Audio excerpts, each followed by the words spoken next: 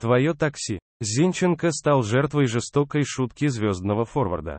Нападающий сборной Бразилии Габриэл Жезус потравлил украинца Александра Зинченко во время интервью клубному телеканалу лондонского «Арсенала», об этом сообщает РБК Украина со ссылкой на Киреса Дейдес ПЛ, дуэт «Канониров», беседовал с представителем пресс-службы вице-чемпиона Англии.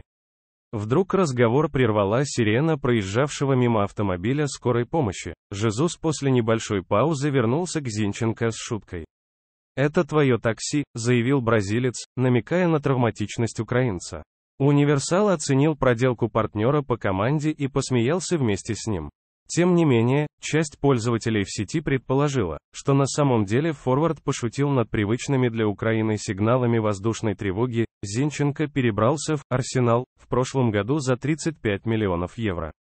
Звезда сборной Украины на протяжении кампании четыре раза попал в лазарет канониров с разными повреждениями, пропустив 17 матчей лондонцев в разных соревнованиях. Мышечная травма заставила украинца пропустить текущее межсезонье. Ранее Зинченко покорил американскую публику во время турне «Арсенала» в США.